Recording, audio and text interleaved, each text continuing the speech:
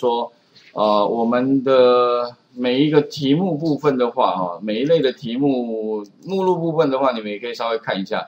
那能够学到什么？第一类是基本程式设计，那也就是我们像上个礼拜讲的那个变数部分，啊，还有一些什么啊，输入输出 in 就是 input output 了哈，等等的，还有一些。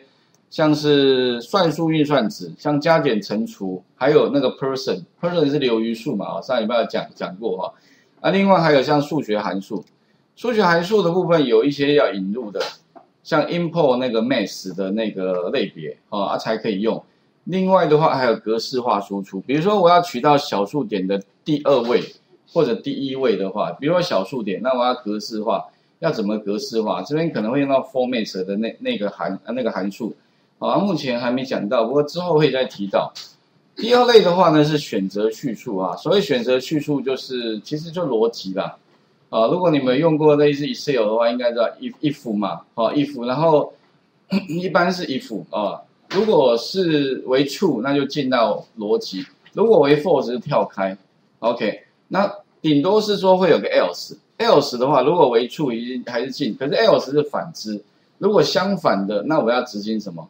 哦，所以我称它第一个 if 就是一一重逻辑啦，就一重。那这个是两重逻辑。那如果多重逻辑的话，啊，其实就是 if。哎，其实这边应该还有一个，就是如果多重好几个的话，第一个哈，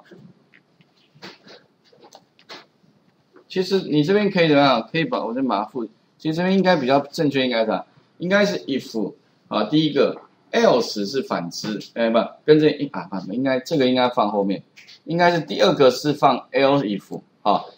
那再来的话，如果还有第三个，还是 L If OK。如果说你这边有多重的话，你可以一直 L If If 下去啦。所以如果说你有选择不止一个的话，那你可以 L If L If 一直 L If 下去。那这个部分的话就是多重的那个逻辑。那当然 VBA 里面也有 select case，其实也类似这种东西，或者 switch 哈。在 Java 里面的 switch 也是类似，可以多重哈。那这个是第二类部分哈，叫做选择叙述哦。不过我希望叫逻辑哈。那第三个非常重要的就是回圈哦，回圈。那回圈里面最重要就是那个 for 回圈啦，跟那个 while 回圈啊。这两个东西其实在任何语言里面也都有啦，就是 VBA 也是 for 回圈啊。然后呃，不过 while 的话，它除了用 while，一般习惯是要 do while 了哈，do while 什么哈？那这两个回圈最大的差别哈，其实主要就差在 for 回圈哈是会有个范围，你要给它一个范围，比如说呃，你一个串列里面的值，或者是说第几个到第几个，那那个 VBA 里面我习惯用第第几列到第几列啦，类似这种概念。那如果说呢，哈，假如你不知道哪一哪一个范围的话，啊，那你可以用 while，while 后面的话是加加一个逻辑逻辑判断，呃，如果为 true 就进到回圈，如果为 false 就跳离回圈，所以它有点是判断在要不要执行那个动作，啊，这两者的话会互相搭配，哦，OK，那什么时候会搭配啊？哎，后面还会再讲到，哦，你不限制次数的话，啊，就是用 while 回圈，那再来的话就是。第四类的话就是进阶的那个控呃控制流程，进阶控制流，那基本上就是怎么样把上面这三类的东西综合起来的结果，OK 叫进阶 控制流程哈。那如果那个证照考试的话啦，这个地方哈它是二十分，所以这一题它有点像上面三类的综合啦，OK。所以我上礼拜上次好像讲过，就是说如果你要呃。作答的话，你不妨干脆直接从那个第四类开始做了啊。不过前提是你要有把握啊，因为这一题做完就是二十分啊，那 CP 值最高的，OK，也就你要拿拿直接就拿二十分哈。那其他的话就是方选啊，方选的话呢，在任何语言里面也都有啦，就是一般我称它叫呃制定的这个方选是不是内建的哦？啊，有别于里面已经提供给你的方选。那我们可以定义自己要的这种方选，也按方选的主要就是你传递给他参数，他会 feedback 给 return 一个结果给你，好啊，当然呢，你如果没有 return 值，就类似像 VBA 里面的 sub 了，就是反正跑完就算了，你不要给我 return 任何值也 OK，哦，那这种部分的话，就是他要考你的哈。那怎么样使用建立那个函函那个函式哈，或者叫函数哈，然后等等的，怎么传递参数，怎么传回资料，return 资料哈，等等的。那这个是第五类。那第六类的话呢，就是我们前面也有提到所谓的 list，就是所谓的串列哦。OK，串列哈，有没有？我们在上次上课那个 X 四里面后面中刮弧里面就是一个串列。那串列的话，跟其他语言那个，如果你有学过哦，那个程程序就是类似像阵列啦，但跟阵列最大的不一样哦，呃，其实就是阵列里面要相同的资料形态，但是串列里面呢，可以不用，也就是说你里面有的可以放数字整数，你也可以放符点，然后你也可以放文字，甚至你还可以再放一个串列在里面，啊，所以这个串列的弹性非常大。那我觉得这个是还蛮合理，因为以前的。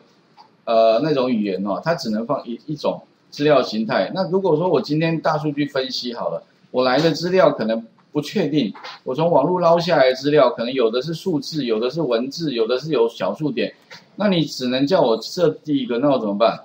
哦，那我这就很麻烦了啊。所以基本上我觉得它比较符合大数据分析要的那样那样的东西哈。那也有点像 Excel，Excel 里面你会发现哦。Excel 里面的储存格有没有？你刚开始输入，你输入什么东西都可以，有没有？输入数字、输入文字、输入，那其实也类似像这种感觉，所以 Excel 弹性还蛮大的啊。其实那个储存格就有点像哈，它预先帮你已经定义好一个变数，反正你爱放什么就放什么。那它不是只有一个储存格哦，它是很多储存格。那一栏哈，一个栏我想象，其实你可以想象成一个栏哦，就是一个串列了。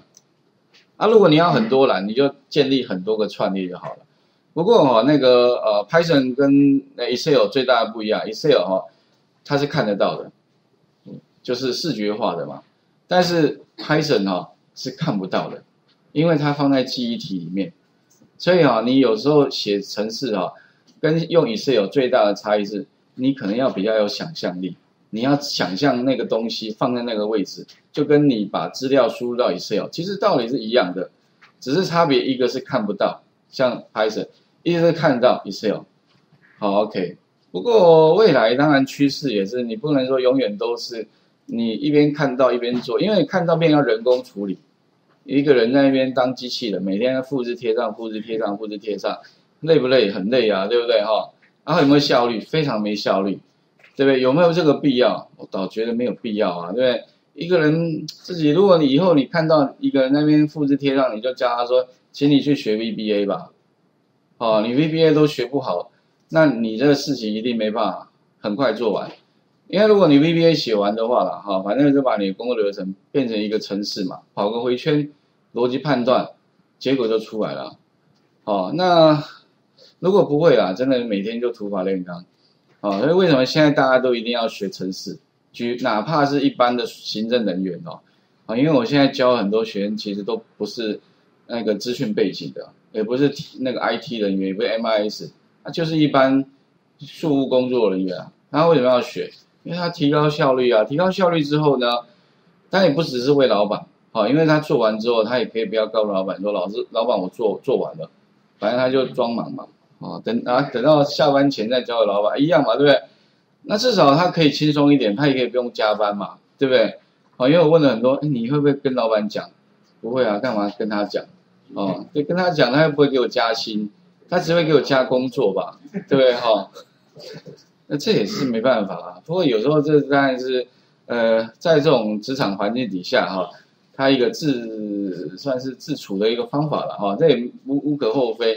但我是觉得聪明的老板哦，他就要想到，我不是说我要，呃，一直这种恶性循环。我我发现有些企业老板聪明，他就干脆直接把我请到他们企业里面帮他们员工上课，我就摆明我就教你们，你们每个人都要会，哦哦，你没有说你不会的理由哦哦，所以其实我觉得像有些金融业哈也不好混，因为他已经老板已经把人都请到公司了，而且已经跟。大家讲说你们一定要会哦，哦，那你们不会都不行。不过这个好处啦，整个企业的竞争力也都提高起来了。哇，你看随便一个人哦，哪怕是做柜台的，他都会写程式，好，那这种趋势这样长以以以往下去的，好，你真的你如果在那个环境，你不会这些东西，你真的混不下去了。对，即便是你是资深的老鸟啊，你连城市都搞不清楚，底下人都会啊，每个人都会，你都动嘴巴而已，对不对？没你没有说服力，所以怎么办呢？那个资深老鸟他也要跳下来，而且恐怕也要走在第一线，哦，他没有办法说还要有的可能剩没几年就要退休了。但看这种情况下啊，这几年不好混，可能最后一最后几年你不会把成